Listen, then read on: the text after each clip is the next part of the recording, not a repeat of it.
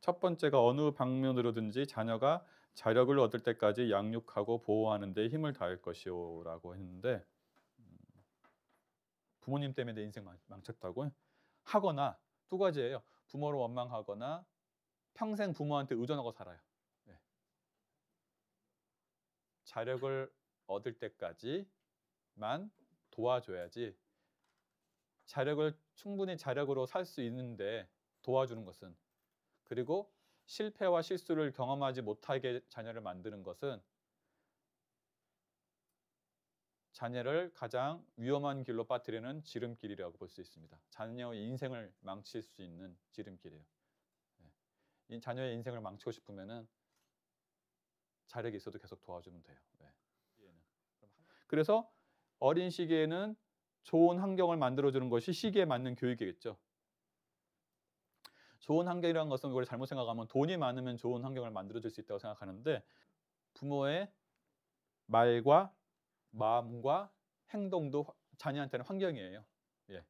그래서 사교법에서는 심교를 통해 마음을 채받게 하고 행교를 통해 실행을 채받게 하고 언교를 통해서 성현들의 말씀과 선행을 기억하도록 하죠. 예. 부모의 모든 것이 자녀에게는 환경이다. 아. 그런데 기도만 하는 것은 진리 불공이고 실제 불공도 함께 해야 됩니다. 부모가 평소에 제도 사업하는 모습을 보, 보여줘야 됩니다. 부모가 제도 사업하는 모습을 보여줄 때 자녀도 부모의 길을 따라가게 됩니다. 근데 자녀를 키운다는 것은 투자도 아니고 아니기 때문에 보상 심리가 작용해서는 안 됩니다. 여기 이렇게 나오죠. 오직 의무로서 정성과 사랑을 다해야 한다라고 합니다.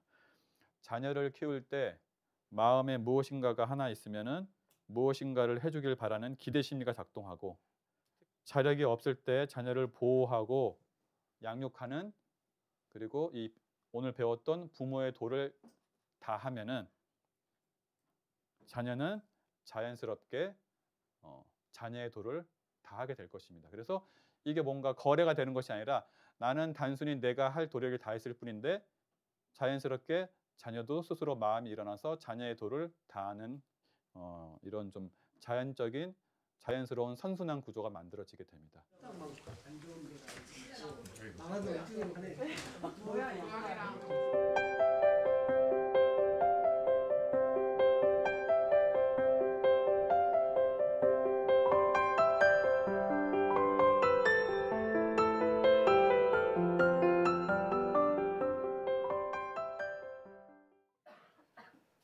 자녀의 도를 저도 연마하면서 음, 우리 자녀의 도와 관련돼서 함께 생각해 볼 어, 내용인 것 같아서 한번 잡지의 글을 한번 여러분들한테 소개해 보겠습니다. 올해 마흔이 된 직장맘입니다. 제 고민은 70대 중반인 친정 아버지에 대한 것입니다. 제 아버지는 정말 무뚝뚝한 분입니다. 어렸을 때 그리고 학창 시절 길게 대화를 나누어 본 기억이 별로 없습니다. 어렸을 때는 섭섭하기도 했지만 저도 아이도 낳고 직장 생활을 해보니 묵묵히 자녀를 위해 돈 벌려고 고생하신 아버지 마음이 이해도 되고 더 늙기 전에 많이 효도도 해야겠다는 생각이 들었습니다. 그래서 전화라도 드리면 잘 지낸다며 바쁜데 뭐하러 전화했느냐고 무뚝뚝하게 받으셔서 민망할 때도 많았습니다. 그런데 황당하게도 잘 지내시나 보다 생각했는데 췌장암에 걸리셨다는 것입니다. 숨기고 계셨다는 것입니다. 미안하기도 하고 숨긴 아버지가 밉기도 해서 한참 울었습니다. 남아있는 시간이라도 무뚝뚝한 아버지께 효도하고 싶은데 어떻게 하면 좋을지요. 네.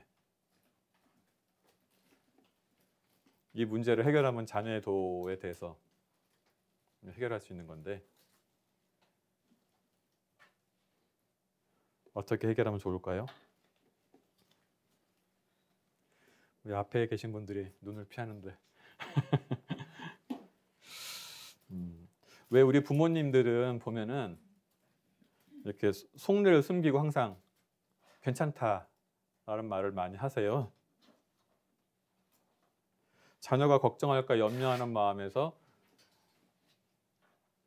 괜찮다는 말을 하는 것이 이해가 되기도 하지만은 이 사연처럼 부모가 암으로 투병주인 것도 모르고 뭐 불효자가 돼버리기도 합니다. 우리가 부모의 자녀 걱정은 친밀감의 바탕을 둔 공감에서 비롯되는데 이 친밀감을 영어로 sense of closeness라고 합니다. 이것을 이제 해석하면은 두 사람 사이의 정서적 거리를 이제 친밀감이라고 하는데 부모가 느끼는 자식과의 정서적 거리는 얼마나 될까요? 자녀가 느끼는 부모와의 정서적 거리가 아니라 부모가 느끼는 자식과의 정서적 거리. 제로가 아닐까 싶습니다. 제로. 어. 음, 저도 부모라 부모이기 때문에 느껴지는 게 뭐냐면은 정서적 거리가 제로라는 것은 자식의 고통이 내 고통이다. 네, 동의하시지 않으세요? 네, 좀 끄덕끄덕 하시잖아요, 부모님들은. 네.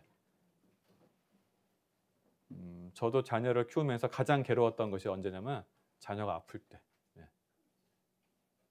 아주 힘듭니다. 네. 특히 이제 내가 어떻게 해볼 수가 없을 때 밤에 아파가지고 병원도 갈 수가 없고 네. 그랬을 때 이런 마음 들잖아요. 부모님들은 내가 대신 아팠으면 좋겠다. 네.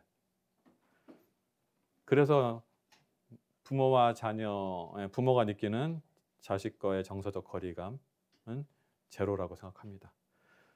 그렇기 때문에 암이 있어도 부모 입장에서는 괜찮다는 말이 먼저 나오는 거죠.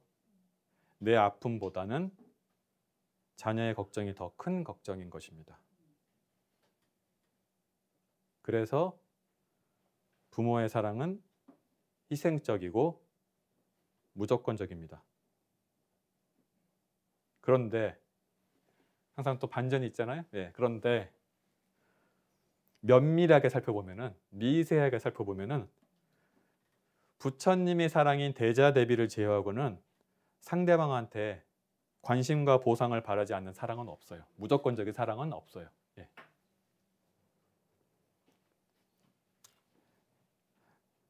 사랑을 타인에게 가족 간에게라도 주게 되면은 마음에 활성화되는 것이 하나 있어요. 마음의 보상 시스템이 활성화됩니다. 사랑을 주면은 사랑을 준과 동시에 마음의 보상 시스템이 활성화돼요. 그래서 부모의 괜찮다는 말에는 이중성이 존재합니다. 이중성이. 예. 어떤 마음이 존재할까요? 이중성. 예. 나쁜 이중성이 아니라 두 가지 마음이 있어요. 부처님의 대자 대비는 이중성이 없지만은 아무리 무조건적이고 희생적인 사랑을 하지만은 부모도 사랑을 주면은 그 마음 속에 이중성이 존재하는데 부모의 다 괜찮다라는 말 속에는 뭐냐면은 너희가 걱정하는 것이 싫구나. 그렇지만은 너의 사랑을 너무 받고 싶구나. 두 가지가 같이 존재해요. 예. 맞죠? 예. 그 부모의 이중성입니다. 그런데 예. 저는 철이 없어서 부모님의 말씀의 이중성을 알기까지 정말 오랜 시간이 걸렸습니다. 예. 결혼을 하고 나서도 저희 정토 부인의 마음을 알기까지 10년이 걸렸는데 네. 아, 지금도 인정할지 모르겠어요. 인정 안할 수도 있어요. 네. 아, 부모님의 이중성을 알기까지는 진짜 예, 더 오래 걸린 것 같아요. 예, 몇십 년 걸린 것 같아서 부모님은 마음한테 이렇게 얘기했어요. 왜 솔직하게 이야기하지 않 고 자꾸만 사람 힘들게 하냐고 막 화를 막 냈어요. 예. 그럼 부모님이 뭐라고 대답하겠어요? 예? 그냥 그냥 아무 말도 안 하시죠. 예. 에휴, 예.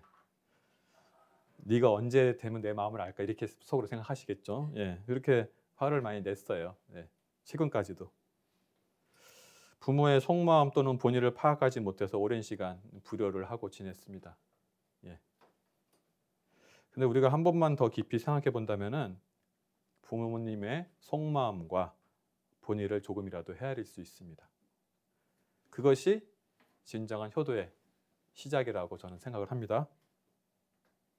사람의 마음은 참 이상해서 나와 관계 있는 사람이 살아 있을 때는 그 사람의 약점이나 나에게 섭섭해가 했던 점들이 주로 생각이 납니다. 일반적으로. 예. 그러나 그 사람이 세상을 떠나게 되면 그 사람의 장점이나 나에게 해주었던 말들이 뭔가 의미 있게 다가와요. 돌아가시고 나면 그런다고 합니다. 일반적으로. 평소에 생각했던 부정적인 것들이 사라져요. 그 사람이 돌아가시고 나면 그 사람의 좋은 점, 그 사람이 나한테 했던 말들이 의미 있게 다가와요. 돌아가시면. 그래서 진심으로 불효자라면서 눈물을 흘리는 자녀들을 보면은 대부분 언제 그래요? 부모가 돌아가시고 나서 하는 거예요. 그때서야 깨달아집니다. 그때서야 부모의 좋은 점이 보이고 부모가 했던 말의 의미를 깨닫게 돼요. 대부분 그렇습니다. 자녀들은 부모가 살아생전에는 섭섭한 기억만 나, 나다가 돌아가시면 바로 그 순간부터 잘해주신 기억만 난다고 합니다. 그러고 보니 그렇다 보니까 고맙단 말 한 번 제대로 못한 불효의 한이 가슴에 사무치게 됩니다. 저는 아직 부모님이 살아계셔서 그 거기까지는 모르겠는데 부모가 돌아가신 분 우리 또 나이가 드신 교도님들은 어떠신가요? 진짜 그렇 그렇던가요? 네? 그래서 누군가는 이렇게 얘기합니다. 부모를 위해서 효도를 하는 것이 아니라 나를 위해서 효도를 한다. 왜냐하면 평생 죄책감과 후회 속에 살지 않기 위해서 효도를 한다라고도 이야기를 합니다. 그러나 이제 대종사님께서 밝히신 효는 그 뜻이 참으로 깊고 넓습니다. 네. 대종사님께서는 무엇을 효라고 말씀하셨을까요?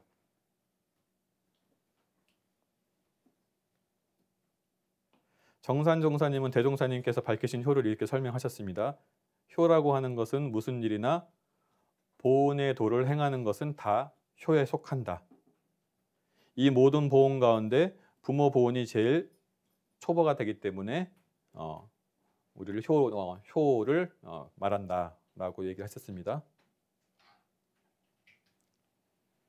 그래서 이제 어떤 왜 그러냐면은 우리가 대종사님 입장에서는 무슨 일이나 보온의 도를 행하는 것이 효인데 기본적으로 왜 우리 기본적으로 부모에 대한 보온도 못하는 사람이 다른 거에 대한 감사를 느낄 수 있을까요? 이렇게 의문하신 거예요. 대선생께서는 어. 세상 사람들이 부모에 대해서도 감사함을 모르는 사람이 다른 것에 대해서 감사를 느낄 수 있을까? 그래서 효라는 것은 보은행의 시작이다. 효 부모에 대한 감사를 느낄 수 없으면 다른 데에서 감사를 느끼는 것은 거의 불가능하다는 얘기예요. 직접적으로 이렇게 주는 은혜도 못 느끼는데 천지은, 동포은, 법률은 느끼기가 쉽지 않죠. 그래서 효라는 것은 보은행의 시작입니다. 그리고 그 보은행이 시간적으로나 공간적으로 확대되는 것이 다 효죠. 큰 효죠. 그래서 이렇게 말씀하셨습니다. 정산 종사님께서는 결국 천만 경계를 오직 감사 하나로 돌리는 것이 참다운 큰 효다. 네. 원불교에서 말하는 효는 참 넓죠. 한 부모를 모시는 것이 아니라 천만 경계에서 감사를 느끼는 것이 효다. 근데 그 효는 시작은 부모에서부터 시작한다는 거예요. 효는. 예. 그 감사는 부모에서부터 느끼는 거예요. 그런데 우리는 이 이치를 모르고 좁은 의미로만 해석하는 잘못을 범합니다. 그래서 정산 종사님께서는 세전에 걱정이 돼서 이렇게 말씀하셨어요. 작은 효로서 큰 효를 상한다. 작은 효로서 큰 효를 상한다. 그렇다면 무엇이 작은 효이고 효의 의미를 좁게 해석하는 것일까? 세전을 좀 읽으셨잖아요. 두 가지로 말씀하셨어요. 작은 효를. 부모의 마음을 편안하게 한다고 해서 의 아닌 명령에도 순종하는 것. 부모의 마음을 편안하게 편안하게 한다고 해서 옳지 않은 것도 그 명령에도 따라가는 것이 작은 효고. 두 번째는 부모가 자력이 있는데도 부모가 혼자서 생활할 수 있는데도 평생 그 곁을 떠나지 않고 그것을 효라고 생각하고 공중을 위한 큰 사업을 하지 못하는 것. 네. 그것이 이제 작은 효라고 생각해 말씀하셨어요. 예. 첫 번째는 이제 부모의 부모의 뜻을 따른다고 해서 큰 대의를 저버리게 되는 거고 두 번째는 부모 한 분을 모시기 위해서 부모 스스로 살 수 있는데도 모시기 위해서 다른 무자력한 자들을 돌볼 수 없기 때문에 이것이 작은 효가 되는 거예요. 그러면 어떻게 해야지 이제 참다운 큰 효가 될 것이냐? 정전에 이제 부모 보온의 조목을 일일이 실행하는 것이 큰 효라고 말씀하셨어요. 부모 보온의 조목 몇 가지가 있죠? 예, 네 가지가 있죠. 첫 번째가 뭐죠? 공부의 요도, 사막팔조와 인생의 요도, 사원서유를 빠짐없이 밟는 것이 부모 보온이다. 효다. 왜, 왜 그럴까요? 저는 처음에 이게 의문이 들더라고요. 대종사님께서는 이렇게 말씀하셨어요. 공부의 요도, 인생, 어, 공부의 요도를 지내고 나, 그러니까 공부의 요도를 다 실천하고 나면은 부처님의 지혜를 얻는 거죠. 지견을 얻을 것이요. 인생의 요도를 밟고 나면은 부처님의 실행을 얻을지니 자녀된 자로서 부처님의 지행을 얻어서 부처님의 사업을 이룬다면은 그 꽃다운 이름이 너른 세상에 드러나서 자연 부모의 은혜까지 드러나게 될 것이라. 그리 된다면 그 자녀로 말미암아 부모의 영명이 천추의 길이 전하여 만인의 존모할 바가 될 것이니 그러니까 모든 사람의 존경을 받게 될 것이니 어찌 일생 동안 시봉하는 것에 비할 수 있겠는가 라고 이렇게 말씀하시거든요. 그러니까 이제 내가 공부를 열심히 해서 큰 성자가 되면은 그 부모의 이름도 드러나잖아요. 우리 지금 예수님의 부모님 기억하시잖아요. 네? 성모 마리아하고 네? 요셉. 예. 부처님의 부모님도 기억하시죠? 마야 부인, 네, 정반아, 네. 지금 부처님은 뭐 3천 년이 지냈는데도 기억하는 사람이 있고 예수님도 지금 몇 년이에요? 네, 거의 2천 년이 넘었는데도 기억하시잖아요. 이것만큼 큰 효가 있을까 싶어요. 네. 그래서 내가 큰 성자가 되는 것이 가장 큰 효다라고 하신 거예요. 첫 번째로. 그래서 1조에 넣었죠. 2조는 뭐였죠? 부모가 무자력할 경우에 힘 미치는 대로 심지의 안락과 육체의 봉양을 드릴 것이요. 근데 앞에 단서가 있어요. 부모가 무자력할 때. 부모가 자력이 있을 때는 스스로 움직이실 수 있고 스스로 경제 활동을 하고 계실 때는 어, 그냥 이제 어, 부모 곁에 딱 붙어서 봉양까지는 할 필요가 없다는 거죠. 네. 근데 여기서 우리가 육체의 봉양은 어떻게 하면 될지는 짐작이 되잖아요. 그죠? 짐작이 되시죠? 그럼 육체의 봉양에 대해서는 제가 따로 말씀드릴 필요가 없을 것 같은데 심지의 안락은 어떻게 드릴까요? 부모님한테 효도하는 것이 첫 번째는 내가 성자가 돼서 부모님의 이름을 드높이는 거고 두 번째는 육체의 봉양과 심지의 안락을 하는 거예요. 육체의 봉양은 육신을 편안하게 해드린 거고 심지의 안락은 마음을 편안하게 해드리는 건데 어떻게 하는 것이 마음을 편안하게 해드린 걸까요? 우리가 잘 생각해 보면은 내가 부모님 마음을 편안하게 해드렸다고 생각하지만 평생 부모님 마음을 한 번도 편안하게 해드리지 못하고 돌아가실 수도 있어요. 착각 속에서 확인해 보지 않으면은. 근데 확인해 본다고 해도 부모님이 괜찮아 이렇게 하시겠죠. 괜찮다 하시겠죠. 예. 부모님이 어떤 효도를 좋아하실까? 부모가 기뻐하는 효도 세 가지가 무엇인지 알아본 설문이 있었는데 다는 말고 세 가지, 3등. 세 가지가 뭐가 있을까요? 여기 계신 분들이 예상이 가능한데 3등은 손주 제로. 네. 그것이 이제 부모님한테 효가 되는 거고요. 2등은 용돈. 네. 1등은 안부 전화나 방문. 그러니까 직접 전화 드리고 만나 뵙는 것이 1등이에요. 2등은 용돈이고요. 3등은 이제 손주 제로인데 이 세 가지를 해드리면 심지에 알라게 된다는 거죠. 마음이 기쁘다는 건데 서울대학교 병원 정신 정신건강의학과 교수인 윤대현 교수는 왜 이 부모님이 이 세 가지를 특별히 좋아하시는지 분석을 해봤어요. 먼저 3등인 손주의 재롱이 왜 부모님의 마음을 기쁘게 하는 것일까? 누구나 이제 사람마다 첫사랑의 추억이 있잖아요. 네. 아직 첫사랑을 못 해본 분도 계실 수 뭐 있겠지만 예.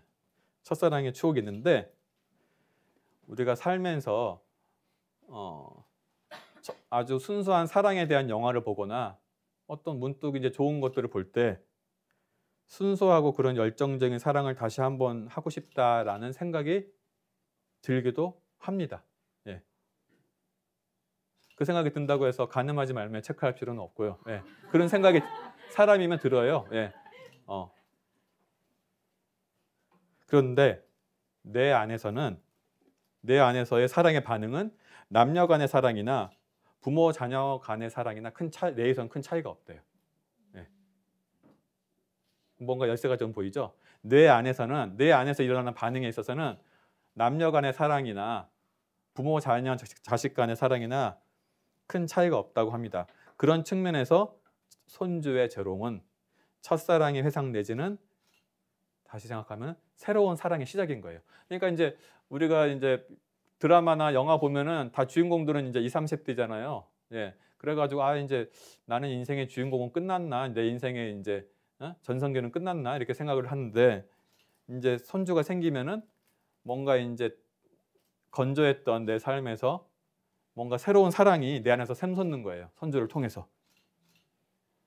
그래서 내 자녀를 낳았을 때보다 더 기쁘고 자녀 사랑 이상 손주에게 푹 빠지는 분들이 많이 있어요. 손주가 훨씬 더 어? 어. 이뻤, 이뻤다 이런 얘기도 하시는데 그러니까 나이가 들수록 죽음에 가까워질수록 감성이 순수해집니다. 그 감, 순수해진 감성과 손주가 태어남으로 해서, 그래서 내 안에 있던 사랑의 본능들이 이렇게 깨어나는 거예요. 그러면서 이제 인생이 좀 새로운 즐거움이 납니다. 그래서 감성이 순수해질수록 사랑에 대한 욕구가 이제 더 늘어나는 거죠. 그래서 내 분신의 분신인 손주에 대한 사랑이 아주 강력하게 일어납니다. 거기다가 손주는 한 달이 건너 있잖아요. 내가 직접적으로 책임을 질 필요가 없어요. 예. 그래 책임을 질 필요가 없으면 잔소리도 별로 안 해요. 그래서 잔소리는 부모가 하고 할머니 할아버지는 사실은 잔소리를 너무 안 해서 오냐오냐 키운다고 하잖아요. 왜냐하면 내 직접적인 책임이 아니니까 한 달이 건너게 돼요. 그러니까 사랑만 해주면 되거든요. 책임은 별로 없어요. 사랑만 해주면 돼. 예.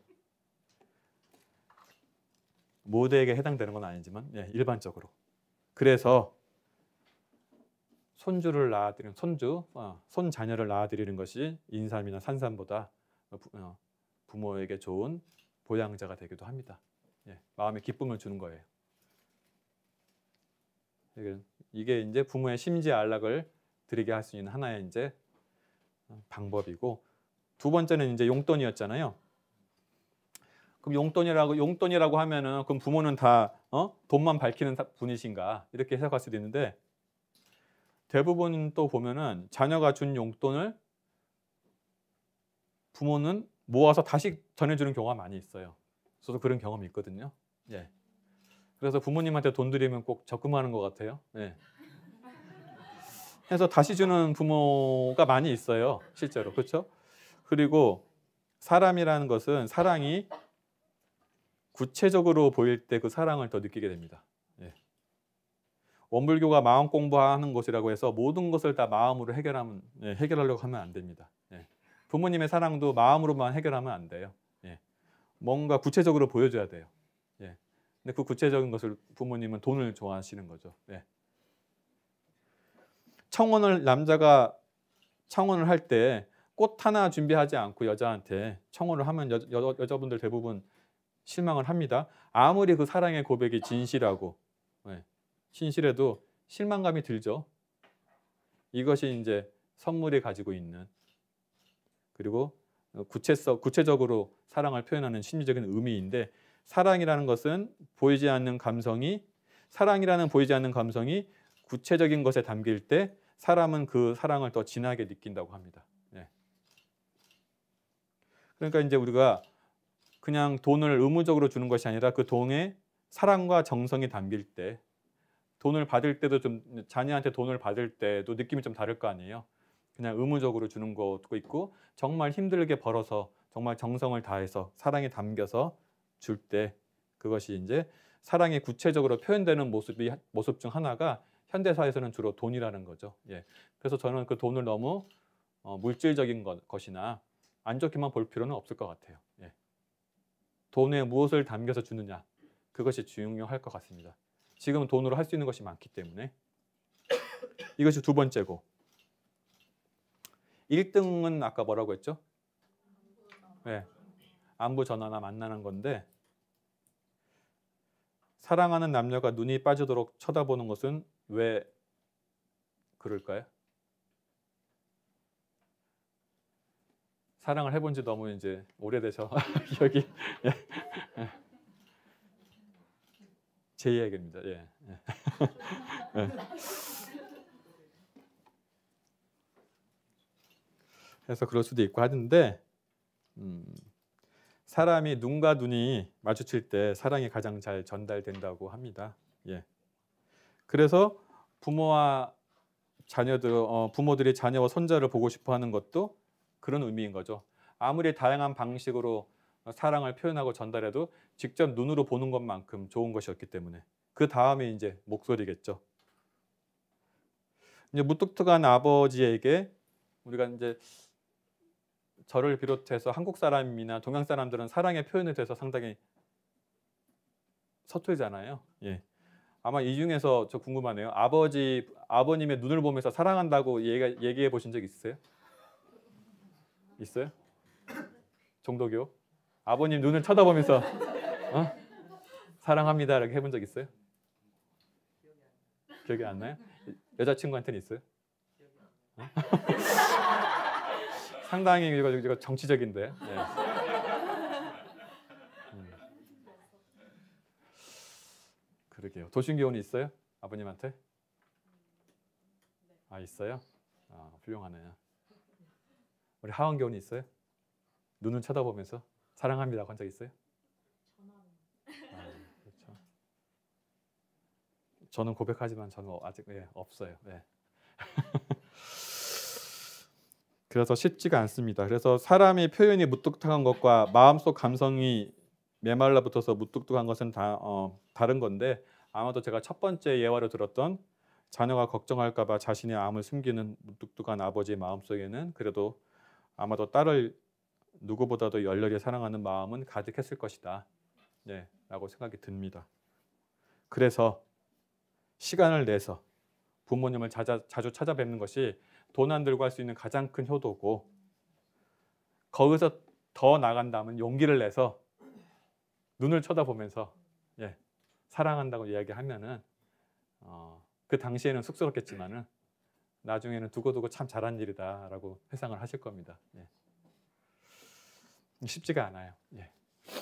저도 못 해봤기 때문에 이제 뭐 말할 수도 없지만 그렇습니다. 그래서 이렇게 이제 부모의 육체의 봉양은 알겠지만 심지의 안락은 이렇게 세 가지 정도로 말씀드렸어요.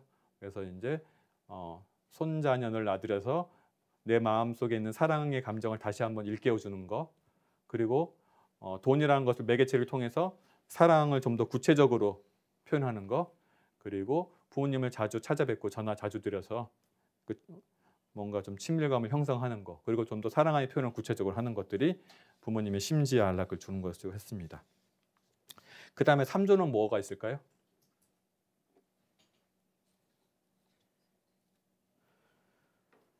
삼조는 부모가 생존하시거나 열반하신 후나 힘 미치는 대로 무자력한 타인의 부모라도 내 부모와 같이 보호할 것이요라고 했습니다. 무자력한 타인의 부모를에게 보호하는 것이 왜 효도가 될까요? 부모 보응이 될까요? 이거는 뭐 원불교인들한테는 당연할 것 같아요. 원불교인들은 일생만 사는 것이 아니, 잖아요 영생을 산다고 하잖아요. 그러면은 내 과거의 부모님도 계실 것이고 과거 그 과거 과거의 부모님 그 전전생의 부모님 부모님 하면은 어찌 보면 이, 이 안에서도 부모의 연을 맺었던 분이 있을 수도 있어요. 그렇죠? 그리고 내생의 부모가 될 분도 여기 계실 수도 있잖아요. 그죠? 네? 그동안 과거의 때 부모, 앞으로 부모가 될 분들 따지면은 내가 어느, 어느 분이 내 부모의 부모에 있었고 어느 부분이 내, 내 부모가 될지 알 수 없으니까 그냥 무자력한 분들한테 다 보온을 하면은 내 과거의 부모님한테 보온한 것이 될 수 있고 또 혹은 내 미래의 부모님한테 보온한 것일 수도 있죠.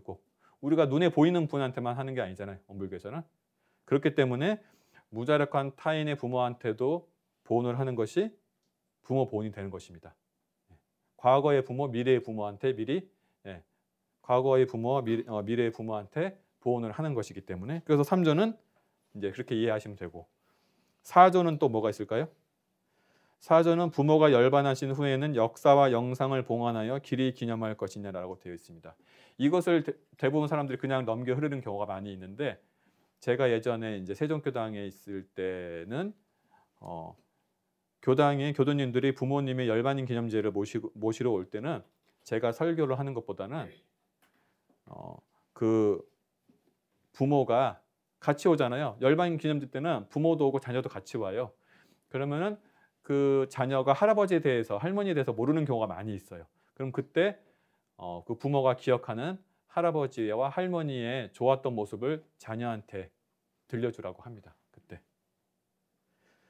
그렇게 하면은 내 할머니 할아버지를 저는 저도 할아버님을 직접 뵙지 못했거든요.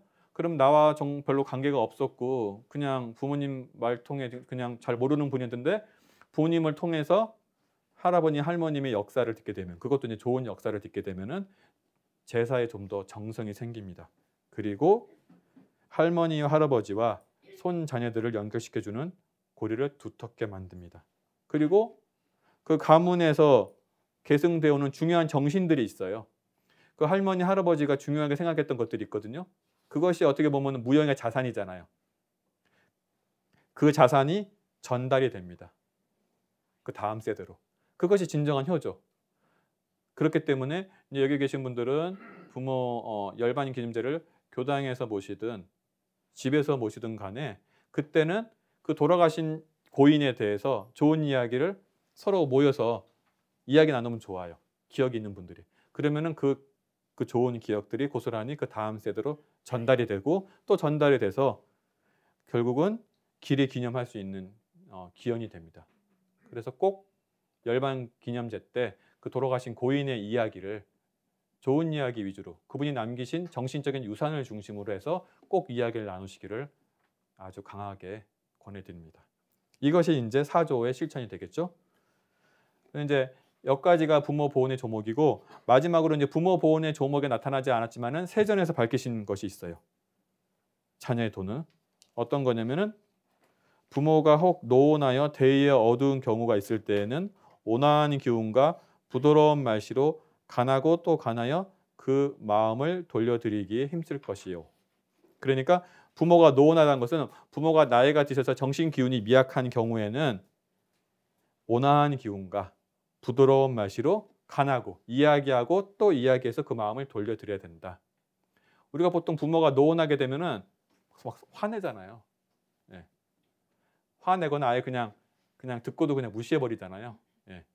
그런데 부모가 이렇게 노원했을 때는 핵심이 이거예요. 온화한 기운과 부드러운 말씨로 두 번 돼 있어요. 간하고 또 간해요. 그러니까 한 번에서 안 되거든요. 이야기하고 또 이야기해서 그 마음을 돌려드리는 것. 이것이 이제 상당히 중요한데 논어 논어에 이런 글이 있습니다. 논어 섭, 논어에서 섭공이 공자를 향해서 우리 마을에는 몸가짐이 정직한 궁이라는 사람이 있는데 그의 아버지가 양을 훔치자 아들이 그 일을 관가에다가 증언했습니다. 라고 이렇게 자랑하듯이 얘기했어요. 우리는 이렇게 법치국가다. 어. 아무리 부모 자녀 관계지만은 어, 자식이 부모의 죄를 예, 증언한다. 라고 얘기하니까 공자가 이렇게 얘기했습니다. 우리 마을의 정직한 사람은 그와 다릅니다. 아버지는 아들을 위해 숨겨주고 아들은 아버지를 위해 숨겨주지만은 정직함은 바로 그러는 가운데 있습니다. 라고 했거든요. 이것은 약간 퀘스천이 들 거예요. 무엇이 정직인지 하나 더 들려드릴게요. 이거에 대해서 주의가 주의는 이, 이 노노집주 이 얘기를 이 부분을 이렇게 해석했어요. 부자 사이는 서로 감싸주는 것이 천리와 인정의 지극함이다. 따라서 정직을 구하지 않아도 정직이 그 안에 있다라고 풀이했습니다. 설령 아버지가 나쁜 짓을 저질렀다 해도 아들은 아버지를 감싸주고 숨겨줘야 하는 것이 천륜이다. 이렇게 이야기했어요. 주인은 공자도 이렇게 이야기했고요. 맹자는 어떻게 얘기했냐? 맹자는 맹자의 진심 보면은 진심편을 보면은 비슷한 얘기가 나옵니다. 도웅이 맹자에게 물었습니다. 순임금의 아버지인 고수가 사람을 죽였다면 수는 어떻게 했을까요? 성군이라고 하잖아요. 순. 근데 순임금의 임금인 고수가 사람을 죽였다면 그 순임금은 어떻게 했을까요?라고 맹자에게 그 제자가 물어요. 그러니까 맹자가 말했습니다. 순임금은 천자의 자리를 그러니까 임금의 자리를 황제의 자리를 마치 헌시적 버리듯 하고 몰래 아버지를 업고 도망가 바닷가 외진 곳에서 살아갈 것이다. 라고 얘기했어요. 이 세 성자, 공자, 그 다음에 주의, 맹자, 순임금 이분들의 사이에 공통점이 있죠. 여러분들은 이 공자, 맹자, 순임금, 주의에 대한 처사에 대해서 어떻게 생각하세요? 이거 어려운 문제거든요. 네. 수능 논술에도 나올, 나올지도 몰라요. 네. 맞은 처사입니까? 이것을 알면은 아까 제가 말한 온화한 기운과 부드러운 말씨로 아빠 어, 그 자녀의 도를 이해하신 거예요. 도인교는 어떨 것 같아요? 이렇게 되면 아버님이 양을 훔쳤으면 어떻게 할 거예요? 네? 신고해요?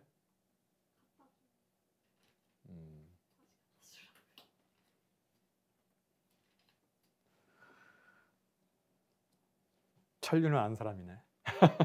네. 이건 저는 이렇게 생각을 합니다. 부모 자식 관계는 천륜이잖아요. 천륜이라는 것은 하늘이 맺어준 인연이에요. 그렇다면 어떤 거냐면 내가 싫다고 해서 힘들다고 해서 버릴 수 있는 관계가 아니에요. 네. 부모 싫다고 해서 내가 버리면 부모 자녀 관계 없어지나요? 부부 관계는 되죠. 부부 관계는 이혼하면 남남 되잖아요. 천륜은 아니에요. 일륜이지. 예. 내가 싫다고 힘들다고 버릴 수 있는 관계가 아닌 것이 천륜이고 거역할 수도 없고 부정할 수도 없는 관계가 부모 자녀 관계. 그것을 천륜이라고 하는데 공자나 맹자가 옳은 것과 그런 것을 몰라서 아버지를 숨겨주고 아버지를 업고 도망가겠다고 한 것은 아니겠죠. 예. 순서가 있는 거예요. 천륜을 저버린다는 것은 인간다움을 저버리는 것이고 그 인간다움이 없는 가운데 세워진 옳음, 원칙, 법을 가지고는 세상을 은혜롭게 만들 수 없어요. 대학살이 어, 우리 공산 공산주의에서는 신고하잖아요 부모. 예. 주체 부모가 주체 사상이 부족하다 하면 신고해서 끌려가기도 했고. 예. 유명한 킬링필드, 킬링필드가 어디서 벌어졌죠? 예? 캄보디아? 제가 알기로는 거기서도 부모 신고해서 자녀가 부모를 죽이게 했다라고도 들은 것 같거든요. 예. 그게 법이고 원칙이라고 교육시킨 거죠. 너희 부모가 잘못됐으니까 너희 어, 신고해야 된다. 그래가지고 법이 쓰고 원칙이 쓰고 하겠어요? 천륜을 모르고 나서 원칙이 안 쓰죠. 예.